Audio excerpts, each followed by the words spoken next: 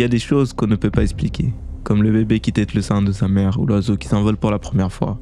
C'est instinctif. Eh bien pour moi c'est la même chose. Une fois que j'ai choisi ma cible, j'élabore un plan parfait. Bien évidemment, je pourrais utiliser une méthode plus simple, plus traditionnelle, comme envoyer un salut. Mais entre vous et moi, nous savons très bien que, en 2023, il est plus facile de décrocher un emploi au FBI que de séduire une fille. Heureusement, nous avons à notre époque des outils à disposition qui ne sont pas là au hasard. Et en parlant de hasard, s'il y a bien une chose qu'il faut retenir, c'est qu'il ne faut absolument rien laisser au hasard. Tout doit être parfait. Car comme le disait un grand homme, chaque détail compte. Je ne suis pas comme ces personnes qui font ce genre de choses pour un but malveillant. Et je ne dis pas non plus que je suis meilleur que les autres mais juste différent. Je fais les choses différemment.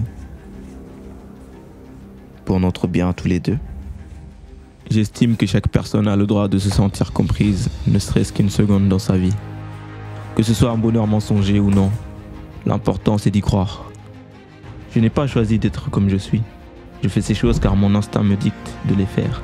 Je pense qu'on ne devient pas charreau, mais que nous naissons charreau. Comme je le disais avant, il y a des choses qui n'arrivent pas au hasard. Vous voyez Pour elle, c'est un coup du destin. Elle a... Hein? Elle est censée reconnaître le livre et avoir le coup de foudre. J'aurais fait une erreur quelque part?